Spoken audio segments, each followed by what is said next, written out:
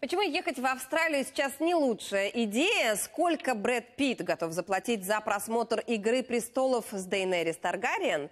И как выиграть в лотерею миллион долларов? Обо всем этом прямо сейчас.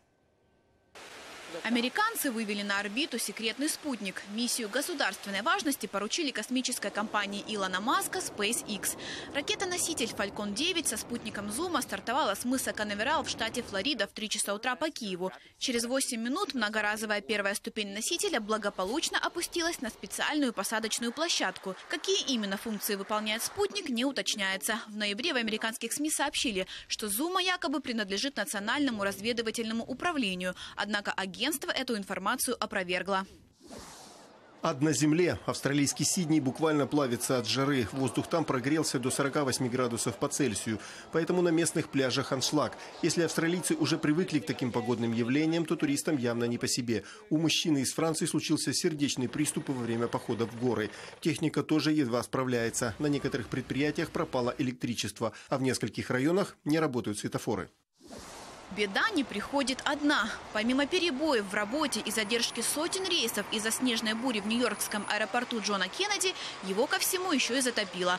В четвертом терминале прорвало водопровод. Из-за этого все международные рейсы перестали обслуживать. Недовольным таким поворотом событий посоветовали обращаться в авиакомпании. Люди вне себя от негодования, ведь некоторые находятся в аэропорту еще с четверга. Массовое шествие под венец в китайском Харбине на международном фестивале льда и снега 34 пары связали свои судьбы на фоне гигантских копий известных мировых шедевров архитектуры. Невесты с красными букетами, а женихи все как один с алыми шарфами. Ведь красный традиционный цвет для китайских свадеб. Впервые массовое бракосочетание в рамках фестиваля провели в 2010 году.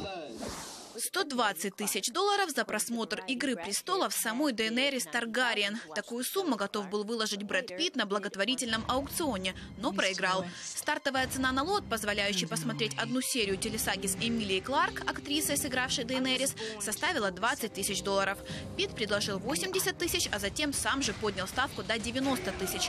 Позже к лоту присоединился и сам король Севера Джон Сноу, актер Кит Харрингтон, и градус противостояния повысился. Но как только Питт решился отдать 120 тысяч, как его перебил неизвестный, предложив 160. Житель США выиграл в лотерею более 560 миллионов долларов. Счастливый билет американской лотереи Powerball был куплен в Нью-Гэмпшире. Имя победителя пока не разглашают. В тот же день, по случайному совпадению, еще один американец обеспечил себе безбедную жизнь.